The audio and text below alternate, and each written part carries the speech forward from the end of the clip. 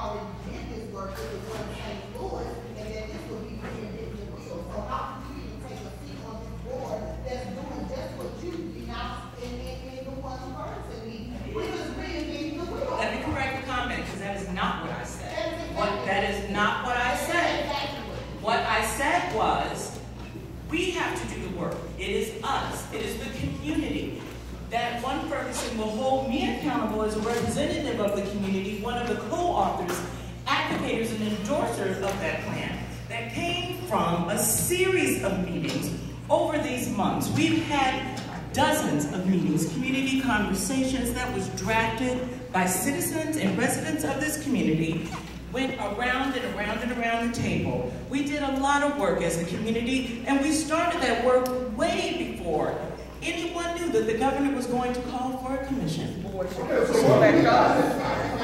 commission should reflect us. Why were you guys at when the military was blowing up the our zone? Why were you guys at? Don't say that didn't do it. Because I have video showing that the military burned some of the buildings on purpose. So, so, can I, can I respond? So, to answer your question, um, I know the time frame you talked department when that was happening. I was, I was So- trying to attack the guy who started the fire at the Ferguson Police Department. The guy that was burning down the car, the guy that was burning down the city hall, and then I was going to run down fighting. But that did none of the police when I had him down on the ground. None of the police when I said, I have to stand on the ground. Would you get him? And they said, let him go.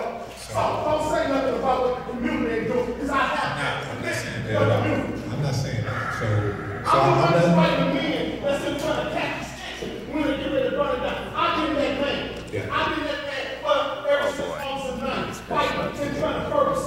so I, I get you, brother. I, I No, y'all may ain't giving these jobs or not talking to the community. Because your people are back here. Right. Y'all stay talking about what y'all gonna build. Right. We talking to build. I wanna talk about Or that. Say what you're gonna build and you're not building anything. Right. You guys are qualified because you.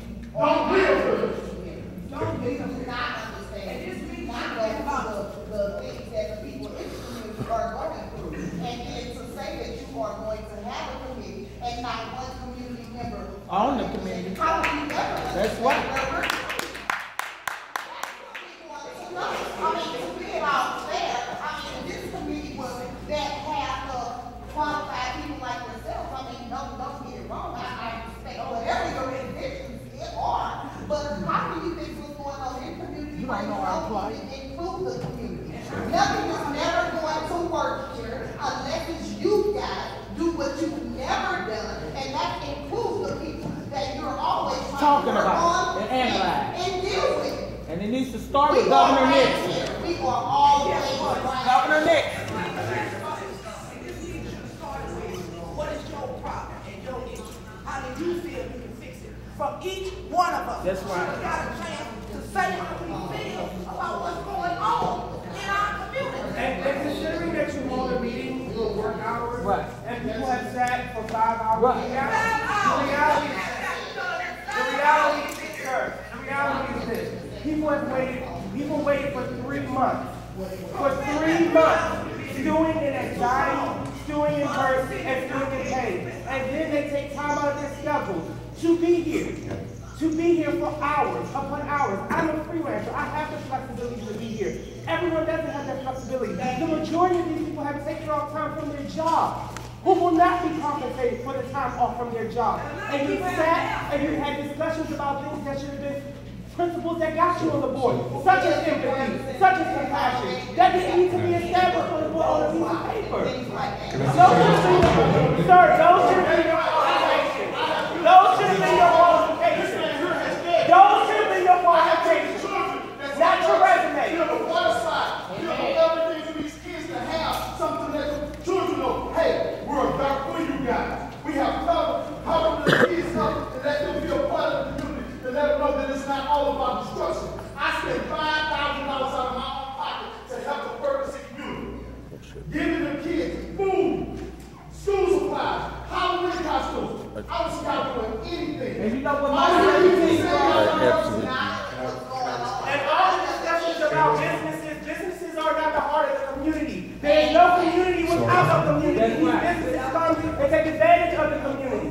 So- So everyone's talking about businesses and everything else, and you're not addressing the I'm community gonna ask you, concerns. I'm gonna ask you to respond. Can I, I, I do No, wanna respond. respond. I do wanna respond. I do wanna respond. So a couple of things. First, number one, there are a lot of things you're saying that are absolutely right, okay? And it's one of the reasons why, we said at the beginning of the meeting, why we're here. One of the reasons why I'm here, and I identified, I actually told the story of the day that I met you at the St. Ann Police Department. We got there at the same time. You were trying to get a reporter out who got arrested. I No, was I'm trying to get several people out ain't got arrested, not just one. You said that you were coming down there to get one person out, and that was Alexis and Rick. Those are the two people you said, Those are the two and your congregation said, all Those- right. those All are the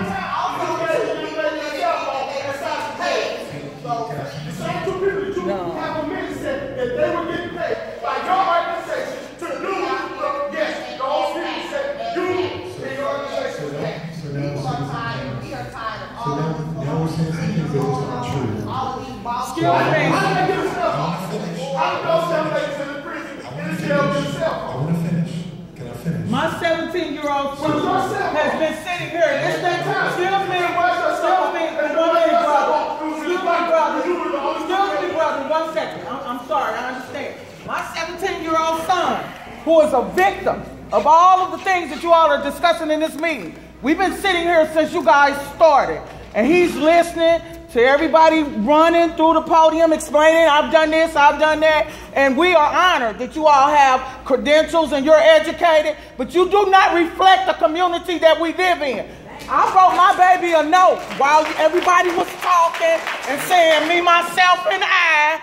And I asked him, what did he think about the proceedings? And I believe in keeping it real, keeping it raw, if it's okay with everybody. My son sat here and said, he may be interested. Her over there, yeah, she may be concerned. But the rest of them, they just sitting there. That's what the Bible says, the truth come out of the mouth of babes. He sat here and listened to every one of y'all. He said, yeah, she might really care. She may care. But the rest of them, they don't begin to know what I've been through.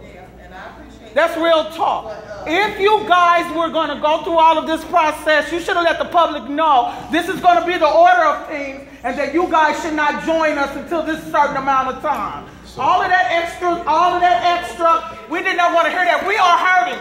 We don't expect you all to, re- to uh, come up with a miracle. That's why we're here, to support you. But don't waste our time with the same innuendos and the same rhetoric. We don't want to hear it. So, so this Period. is, this is what I want to offer. Just want to offer couple things. I offer limited explanation, uh, but I offer an adjustment to the process. Uh, for the limited explanation, this is one of our commitments from the very We beginning. are hurting. Forget all them special words. We hurting. I'm hurt. We are. You killing our baby.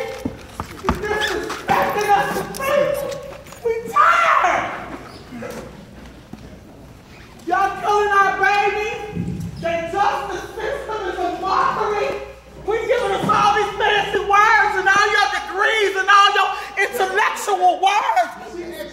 Fix it. To fix the problem, you guys didn't even have a thing to fix. We're talking about what we're gonna do. Y'all didn't even have a thing. The legislature and no one said how we gonna fix it. Nobody said anything, but Ms. Uh, Becky, Ms. Bethany, those are the only two who suggested some way to fix it. Nobody else would say anything about fixing it. Mr. Isom was head of the police department. He should know how to fix the problem. We can't fix the problem until we get rid of all those bad weeds that's in the problem. We can't have a beautiful grass until we get the weeds out of the grass. That's right. And to answer your question, Mr. Isom, let me answer your This is question. not a Ferguson problem. This is a universal problem throughout the state of Missouri. You're a very educated man. I've watched you. And you're humble. You have a very good spirit, Mr. Isom. And you said you're perplexed. You want to know why some people hate police officers and why some people like police officers? Well, I was born in the 60s. I'm a 60s baby. We were raised up that the police officer was Mr. Friendly. He used to walk the neighborhood and say, hi, how you doing? And so therefore, with that ideology, I taught that to my children. That's what I taught them. You respect authorities. You respect any adult, but especially the police officer, because that's your friend. We're gonna work with him to help keep to lift the community up. But what am I supposed to tell my 16-year-old son? And my son is not a thug. His pants don't sag. So everybody will know that when he steps outside his door, the police got him and his friends lined, lined up on the damn ground, excuse my friends, lined up on the ground. They got to take their socks and shoes off and undress for what? Or what do I tell my 20 year old son that just graduated from Hazelwood East who celebrated